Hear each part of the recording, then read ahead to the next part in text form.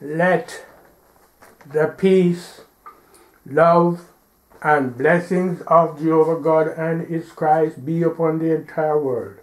In the name of our Lord Jesus Christ. Amen. God's exclusive duty. Everlasting Gospel delivered to the entire world by the Holy Spirit of Truth, leader Olumba Olumba Obu, the supernatural teacher. First lesson, John chapter 3, verse 17. For God sent not his Son into the world to condemn the world, but that the world through him might be saved. Second lesson, Romans chapter 2, verses 1 to 3. Therefore thou art inexcusable, O man, whosoever thou art that judgest, for wherein thou judgest another, thou condemnest thyself. For thou that judgest doest the same things. But we are sure that the judgment of God is according to truth against them which commit such things. And thinkest thou this, O man, that judgest them which do such things, and doest the same, that thou shalt escape the judgment of God? Golden text, James chapter 4, verses 11 to 12. Speak not evil one of another, brethren.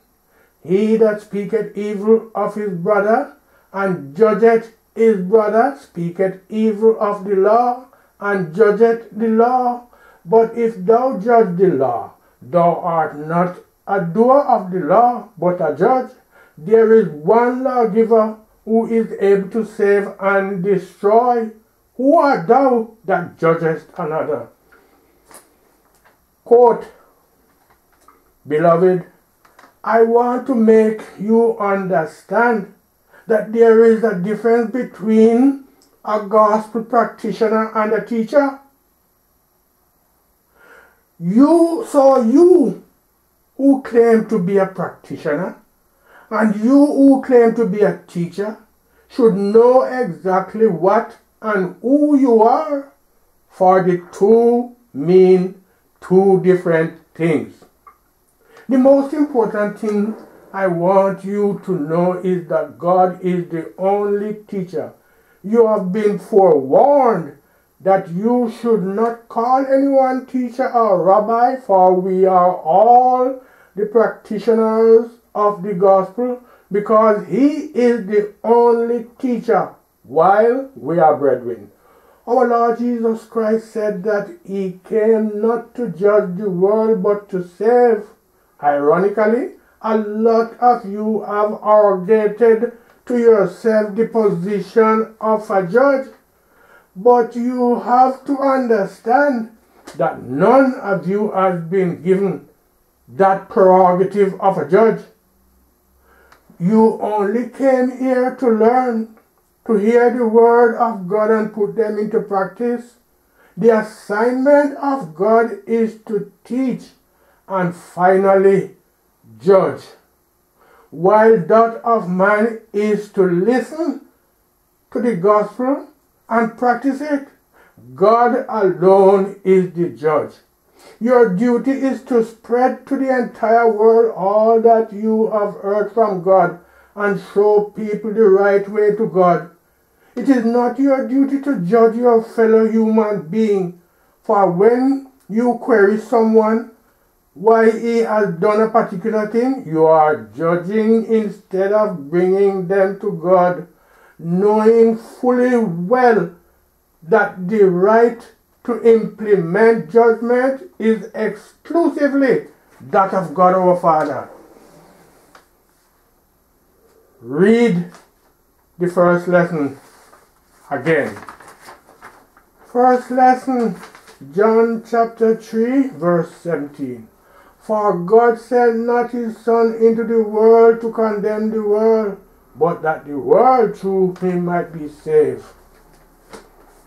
Brethren, if you examine the system of the world and her conventional churches, you will see that they are all out to judge and condemn.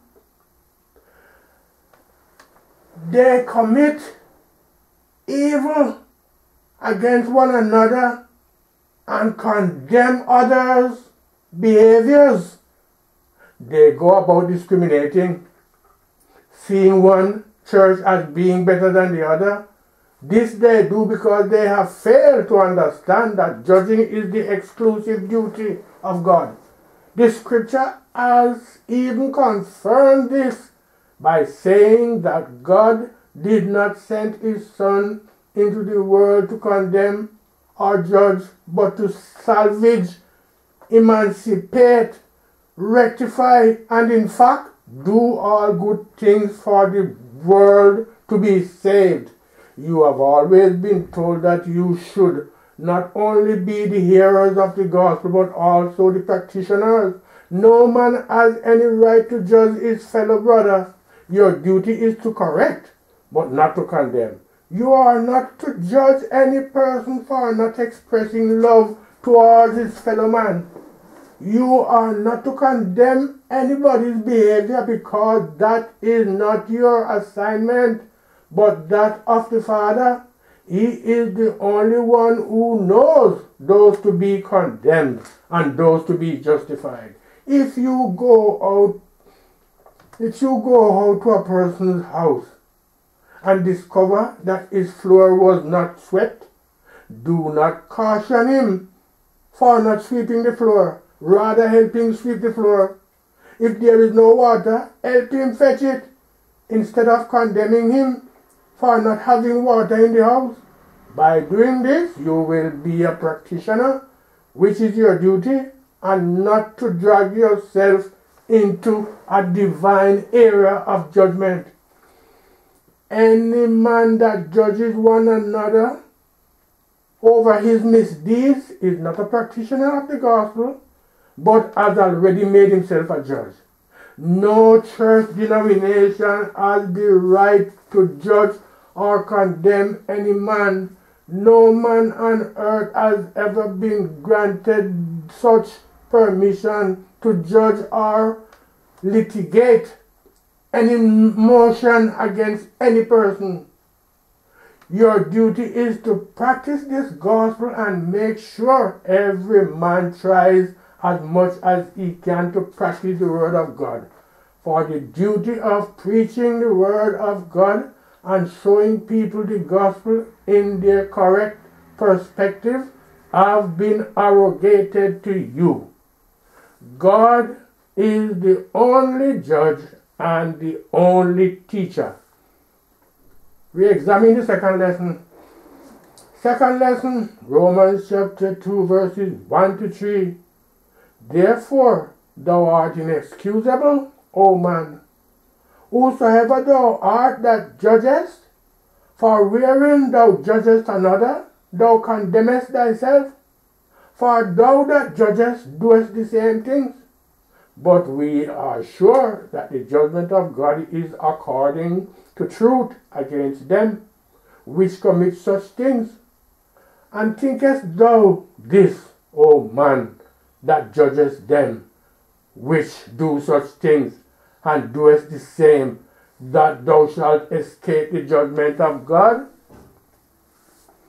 Brethren, as many as go about judging and condemning people cannot be excused because they have never for once been made judge.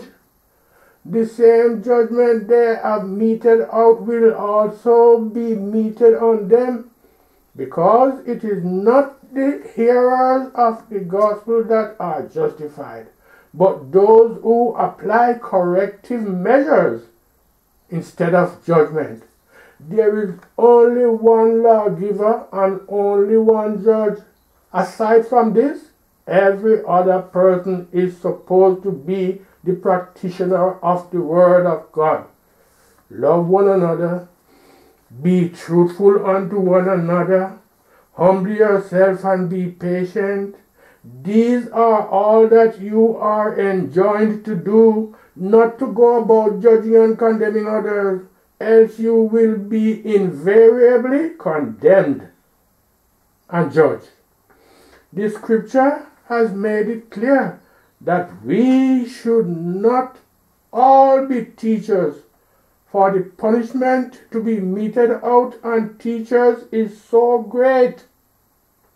In James chapter 3, verse 1, it says, My brethren, be not many masters, knowing that we shall receive the greater condemnation.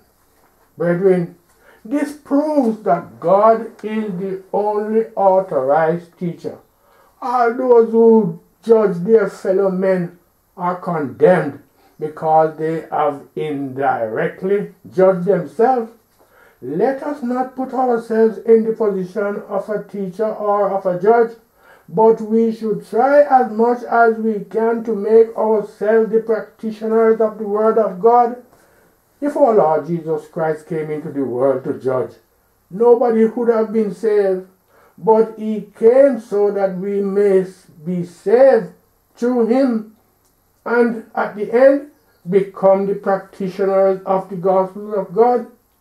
It is popularly said that there is no sense in being tricky because it deprives one of many good things.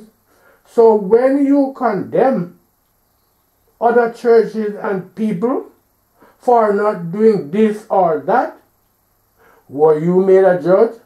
Or are you just arrogating to yourself the position of a judge? Brethren, it is meaningless to quote and cite Bible portions when you are yet to practice any injunctions. You should rather be a preacher. By example, hearing the word of God is not enough to save you, neither will you be saved through preaching the gospel. If you are not a practitioner, then salvation has eluded you. You should not deceive yourself by going to preach to people to forsake sins and feel that you will be saved if you are still wallowing in sins. For you will be judged even by the same preaching that you deliver to others. But if you are to keep to the injunctions of God and practice what you preach to people, you are saved. Read the golden text again. Golden text, James chapter 4, verses 11 to 12. Speak not evil one of another, brethren. He that speaketh evil of his brother and judgeth his brother speaketh evil of the law and judgeth the law. But if thou judge the law, thou art not a doer of the law, but a judge. There is one lawgiver who is able to save and to destroy. Who art thou that judgest another? Only God saves Brethren, a vital question is raised in this excerpt. Who are you, man, that judges another? Who are you that speak evil against your brother or, or the law? A certain, a certain man is recorded in Luke chapter 12, verses 13 to 14. He went to Christ and this conversation ensued. And one of the company said unto him, Master, speak to my brother that he divide the inheritance with me. And he said unto him, Man, who made me a judge or a divider over you? Brethren, having learned this, let us try to be the practitioners of the gospel and not a judge a divider, or the one that condemns another. Do not for any reason speak evil against your brother. Be he a younger person to you, whether he is poor or illiterate, no matter his standard, you are not authorized in any way to condemn him. God is the one and only lawgiver and judge. He alone can save and can destroy. Who then do you think you are to judge your fellow man? Jehovah God and his Christ is the only one who has conferred upon himself the title of a judge, teacher, and a lawgiver. There, these titles have not been granted to any other being on earth, not even the angels. So you should, from this day, know that your duty is to practice the words of God and nothing more than that. Therefore, everyone that judges the law does not obey the law, but is judging it, and by so doing, he, may, he has made himself God. Here in this kingdom, people are not judged or condemned or spoken evil against. As such, you are given a free hand to practice the gospel, love one another, and speak good of one another at all times. John, one of the disciples of our Lord Jesus Christ, told him, Master, we saw one casting out devils in thy name, and we forbade him because he followed it not with us. That was in Luke chapter 9, verse 49 to 50. From the aforesaid, let us refrain from judging others, castigating people, and calumniating others. For we were not called for this purpose, but we were called to practice the word of God and to go out and preach the gospel to people and live an exemplary an exemplary lives for others to emulate. In so doing, we will be saved and be justified. Beloved, it is said that a stroke of the cane is enough for the wise. He who has ears to hear, let him hear what the Holy Spirit has imparted to the entire world. May God bless his holy words. Amen. End of quote. Peace in the name of our Lord Jesus Christ. Amen. Thank you, Father.